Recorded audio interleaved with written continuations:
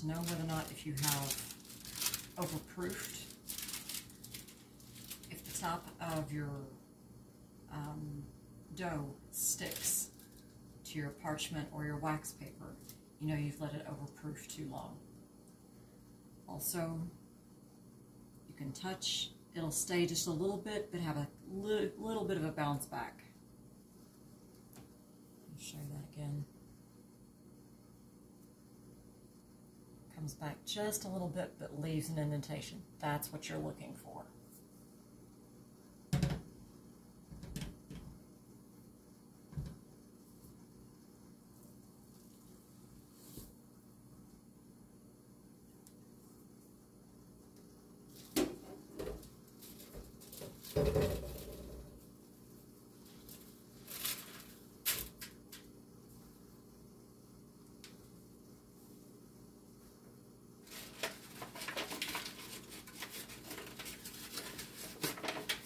Now, I floured surface, so now we're going to add just a little bit to the top. You don't want to get too generous with the flour. You don't want to dry out your dough.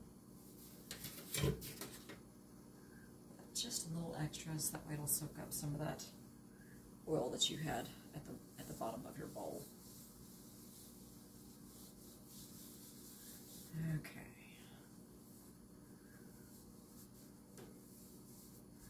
Now, in order for me to divide this out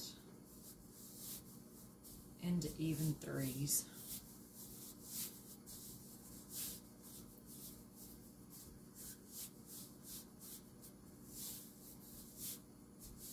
I really should have a weight or a scale, but I don't have one, so Grandma taught me how to eyeball it, and that's what I've been doing most of my life. And sometimes I win, sometimes I lose, and sometimes you just look like a big Egypt when you're done, but nothing I can do about it.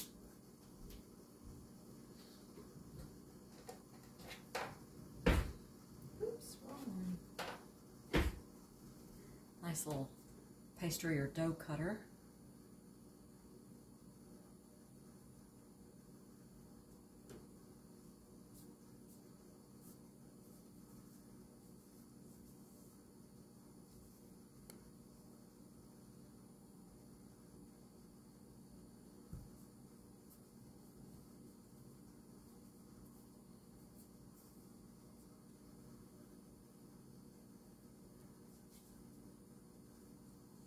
I'll go a little extra off for you. All right. Now I've already got two large pans just a regular loaf.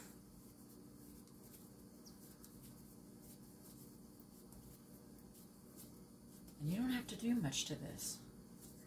It's pretty much just shaping into an even sized loaf.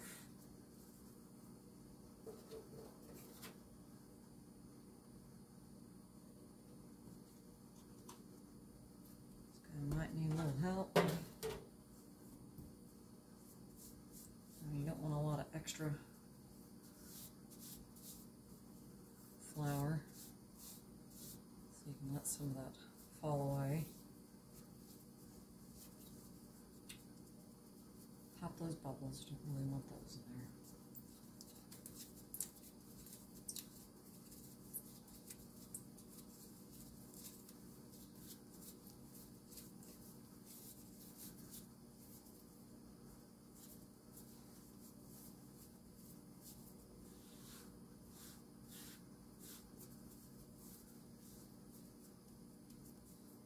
Oh yeah, about even Stevens.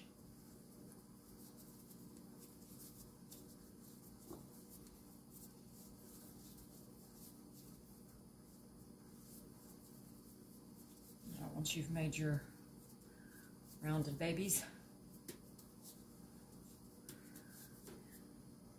put them into that pre-buttered and floured pan.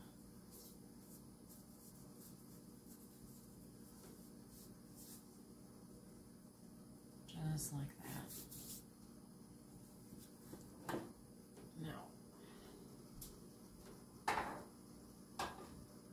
guys can sit over here.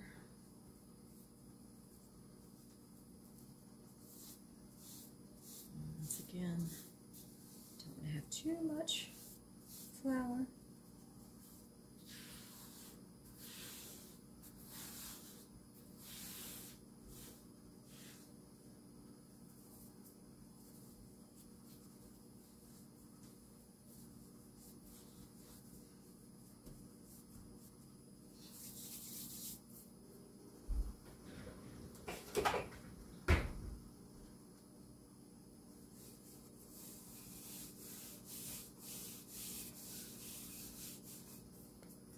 spindle real quick.